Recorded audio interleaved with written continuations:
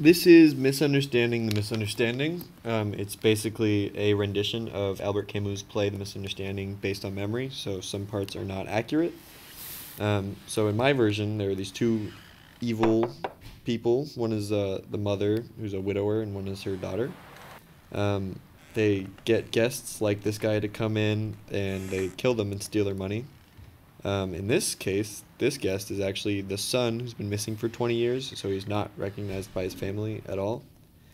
Um, so he's able to kind of like spy on them and kind of see what would make them happy. Uh, he came with his wife, who just wants him to tell them, but he's really obstinate and doesn't want to ruin his sweet plan. So unfortunately for him, his mother uh, brings him the tea and kills him before he's able to reveal himself naturally, and they end up finding his passport and learning his identity. Uh, anyways,